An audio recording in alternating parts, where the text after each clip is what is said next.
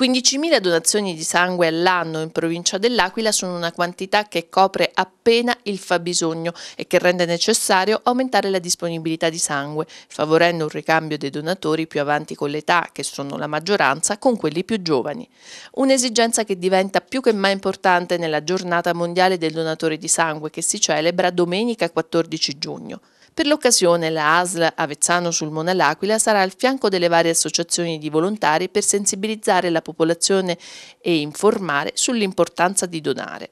Tra le iniziative va segnalata quella di Pescina organizzata dalla sezione Avis comunale del comprensorio.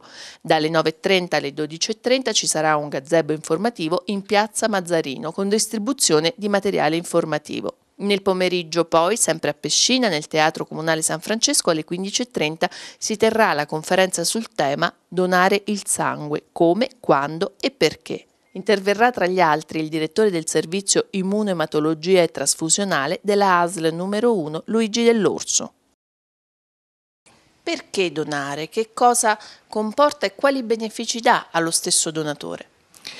Donare sangue eh, non fa né bene né male, è un'attività che è stata eh, negli anni perfezionata proprio per non creare alcun tipo di problema a chi dona il sangue eh, eh, diciamo che è un'attività che fa bene psicologicamente perché chi dona il sangue sente di avere fatto qualche cosa di utile per gli altri. È una forma di prevenzione, di medicina preventiva perché il donatore viene sottoposto a controlli periodici che servono a mantenere anche lo stato di salute. A Sulmona nella stessa giornata i medici del centro trasfusionale dell'ospedale saranno a fianco dei volontari con un gazebo che sarà collocato dalle 9 alle 23 in piazza 20 settembre. Ad Avezzano poi i volontari dell'Avis saranno in piazza Risorgimento a partire dalle 9, sempre con materiale informativo.